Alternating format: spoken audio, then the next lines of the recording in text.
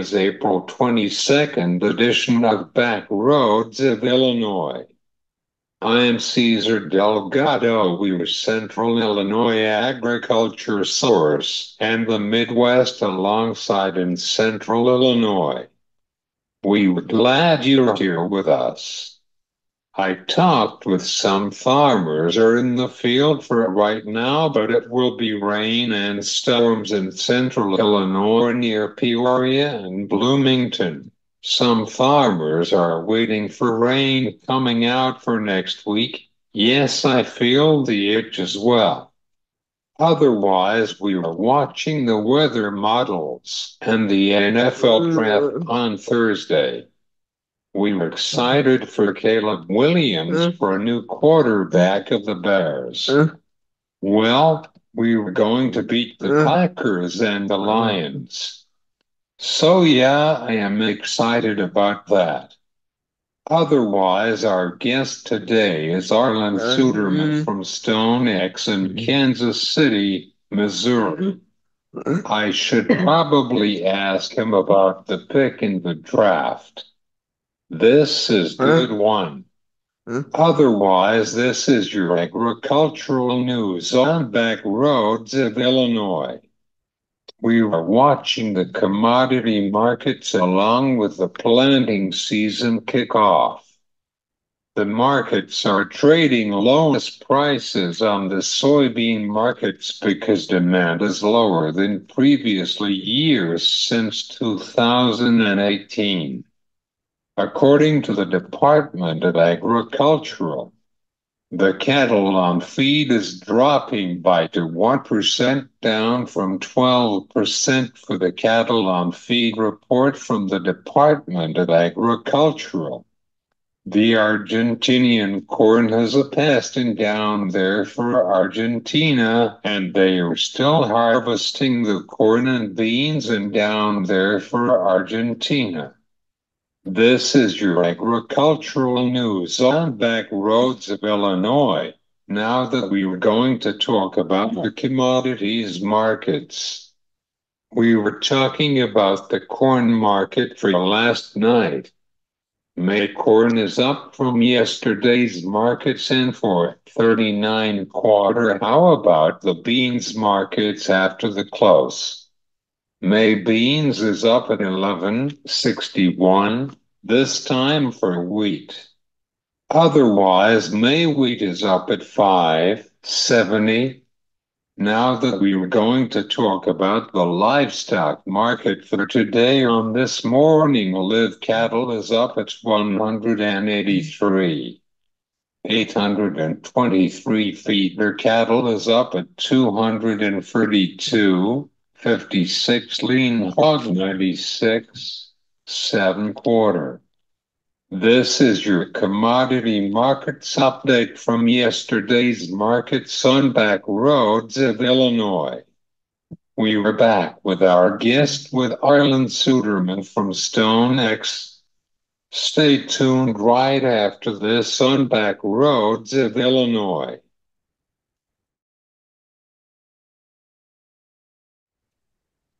Welcome back with Arlan Suderman from StoneX in Kansas City, Missouri.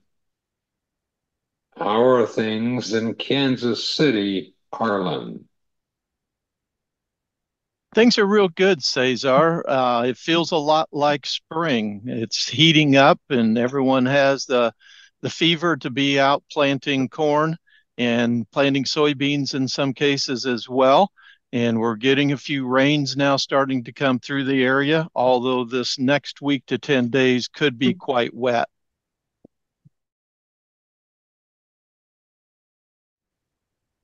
Me too. I feel the itch for this planting season.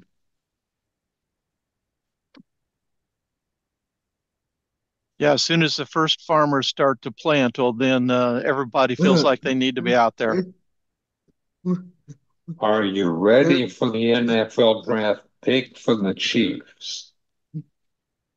I'm looking forward to that. Uh, it looks like they uh, may need to pick up a wide mm-hmm. receiver and maybe a few mm-hmm. other support players. Mm-hmm. Uh, but Andy Reid always finds a way to uh, put everything together by the end of the season.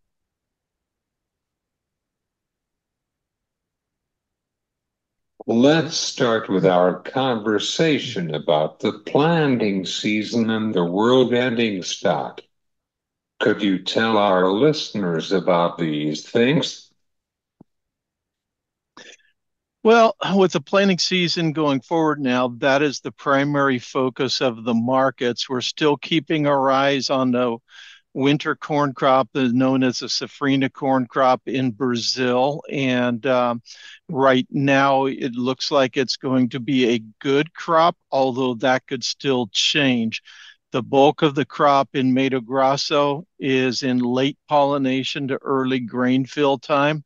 I talked to our team in Brazil earlier today, and they've just recently received some more rain, although the forecast is dry from this point forward. This is a little bit early for their rainy season to end. They also have some heat coming in. So we'll have to see if that starts to add stress to that crop. Argentina's crop was expected to be big this year, but now production estimates for it are going down as well. They have a disease in their crop that is spread by the leafhopper insect. And as I talk to my contacts in Argentina, they say it could take seven to 10 million metric tons off the top of the crop. So that'd be 15 to 20% of the crop. We'll have to see how that actually plays out. This is a relatively new problem. So some of this is speculation at this point. Now, in both cases, it's not yet enough to justify sustaining a rally in U.S. corn, when we have a 2.1 billion bushel carryout. So I want to put some perspective on it. The current rally is in response to funds unwinding some of their short positions, their sold positions, because they're getting nervous about these problems that are developing. But it doesn't yet say that we're going to be seeing our exports rise by a significant amount over the coming year. If these problems continue to develop, then that would change that scenario. Right now, we're not, and, and we're also getting help from a, from the wheat prices that are going up because of dryness in the U.S. plains as well as in South Russia, in eastern Ukraine. Um, but there again, we still don't know how significant those problems are going to be. Wheat is providing some support to corn prices. Soybeans are along for the ride. But the farmer in both the United States and in Brazil still has a lot of corn and soybeans to sell. And I anticipate that's going to limit how much upside we have until or unless these problems get worse. Mm-hmm. Right now, the planting mm-hmm. for the U.S. crop is looking good. Uh, we're having storm systems go through and then a chance for drying out, and then another storm system will come through.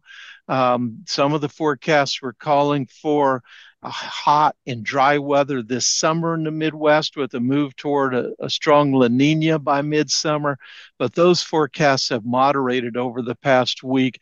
And while there is still some risk of that present, those risks have moderated and come down some this past region expected in its March report.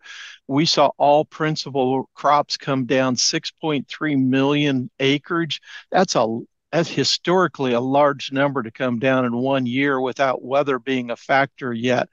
And uh, in similar years, when when we've seen big drops in acreage in the principal crops, we don't see much adjustment in the June acreage. However, we do see adjustments specifically in corn and soybeans. If you look back at the last 20 years, uh, we have seen corn acreage go up in the June acreage report by one to two million acres or more in eight of those 20 years. And so I'm looking for that again this year as well. I'm going to say maybe one to one and a half million acre increase from what USDA indicated for March in the March survey for corn. Soybeans, I don't see much adjustment, but I think some of those corn acres that USDA failed to pick up on in the Midwest in the March survey that they will pick up on in the June survey, particularly if the mm-hmm. weather continues to be overall favorable.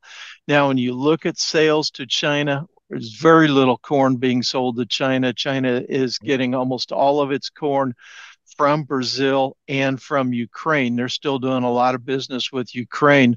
When you look at soybeans, it's been dramatic the shift that we've seen from China depending on the United States for soybeans toward now becoming dependent on Brazil. And if you look at the data overall, uh, we've seen a decline of like 266 million bushels going to China for the marketing year to date, whereas what they've gotten from Brazil has more than exceeded that. And it's largely a case of with a cheap currency in Brazil, uh, they have. Uh, simply been cheaper than United hmm. States. And even when they're similar price, China still tends to favor Brazil since they're another member of the BRICS coalition of nations. Do you see increasing the demand for Brazil's beans dry out? You mentioned that earlier in the show. Right now, it's looking like Brazil soybeans as we look at what's being offered through the summer.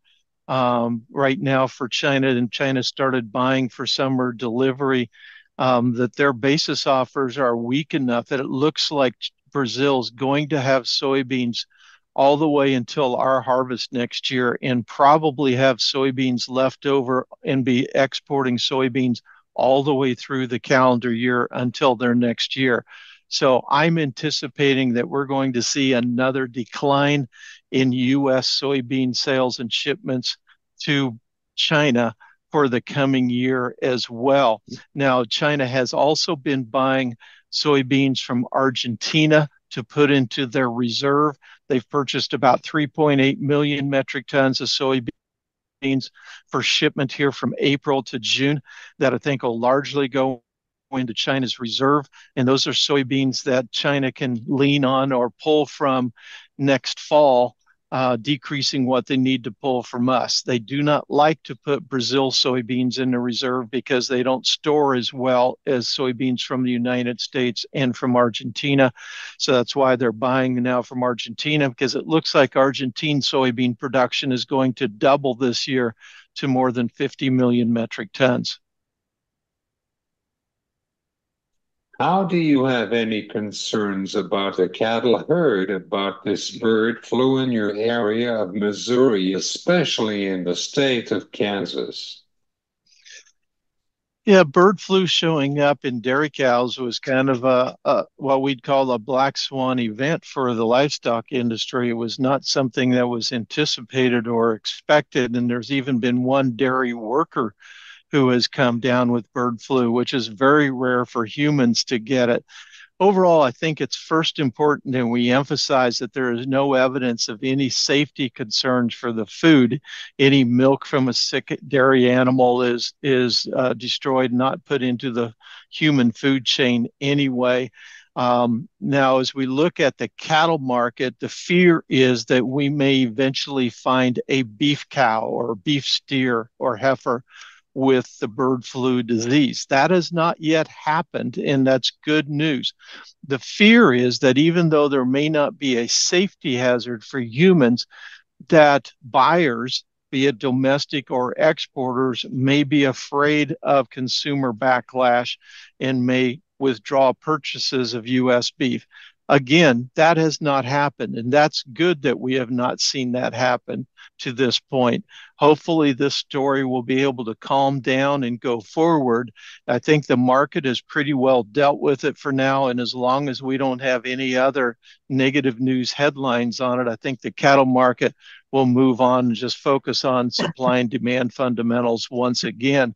We continue to see some shrinkage in the supply of beef but unfortunately, that's taken prices to a level now that has encouraged a tremendous amount of imports of beef, uh, near record amounts of imports of beef to help supply the deficiency. And we've also seen the consumer move down the value chain somewhat toward pork and poultry as well.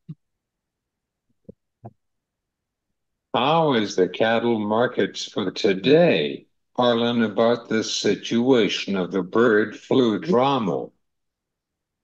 Yeah, I, I think overall it's starting to stabilize now, starting to focus on this last cattle on feed report, which was a, a bullishly construed report, one of the 1st mm-hmm. that we've had in quite some time, with inventories coming in well below even the lowest of the trade guesses. I believe it was 107,000 head fewer than what was anticipated.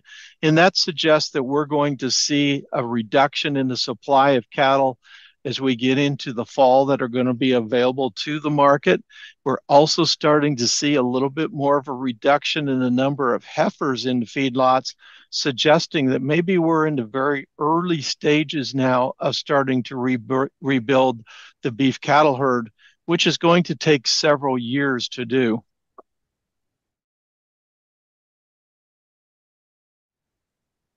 I see the time last Friday afternoon Finally, what is going on with corn market for right now alongside with the beans? What tells the farmers should do for these markets? Yeah, I think when you look at corn and soybeans, they're not seeing as much uh, price rally from the short covering that the funds are doing because their farmers still own so much corn and soybeans and particularly in Brazil, the farmer is selling against this rally, limiting its upside. And that part of that's because their currency took a sharp decrease in value versus the dollar. And they sell off the Chicago market, and that's converted then into local currency. And so when they have a weaker currency, they're actually getting a higher price. So they have a higher incentive to sell. So that is limiting the upside right now. And I think we have to th- start worrying about how much more can this market go higher at this point unless we get some more bullish news. Will we get that? I don't know. Uh, I've kind of outlined what some of the possibilities are.